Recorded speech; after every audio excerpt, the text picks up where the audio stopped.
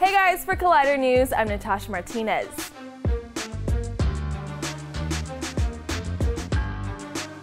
Laika CEO and President Travis Knight just made his directorial debut with Kubo and the Two Strings. While promoting the film, he talked about what Laika has planned for the future, and it sounds like they're moving in a dramatically different direction.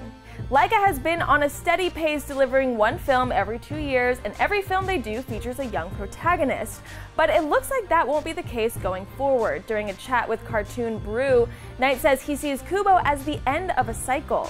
This film is a goodbye in a number of different ways. The themes that it deals with, loss and grief, but it also deals with healing, compassion, forgiveness, and empathy. And so it is effectively the end of the first cycle of films that we've done at the studio. Our next film does not feature a child protagonist. I don't even know that there are any children in it at all. I wouldn't say it's adult oriented, but it's a different kind of film for us.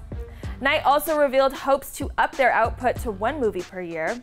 The way we make films, there's only so many films you can do in that time that you have, and I want to tell so many different kinds of stories in so many genres, so we have to figure out a way to overlap these productions. Ultimately, the goal is to be on an annual cycle, releasing a film every year. Knight also addressed whether or not we'll see any Laika sequels. I take a firm stand against sequels. You put so much of yourselves into these movies. It does come at a cost. You give and give and give to these movies. If we're going to do that, it needs to matter. It has to mean something. I don't want to tell the same stories over and over again. For more on Kubo and the Two Strings and what lies ahead for Laika, head on over to Collider.com and be sure to subscribe to the Collider Videos YouTube channel to keep up with all the must-know movie news.